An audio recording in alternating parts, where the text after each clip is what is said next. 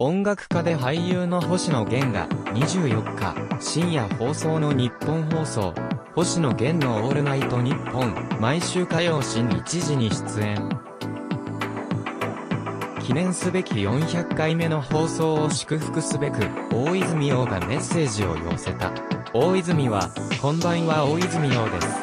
星野源のオールナイトニッポン400回おめでとうございます。そうですか、400回ですかと切り出すと、自身がゲスト出演を果たした当時を懐かしいですね。もう約8年前ですか。なんか、早く呼ばれて腹立った記憶がありますね。2019年、あの時も待たされて、結局間に合わなくて、なんで、俺がいないのに始めるんだって怒った記憶がありますと、笑いを交えて解雇。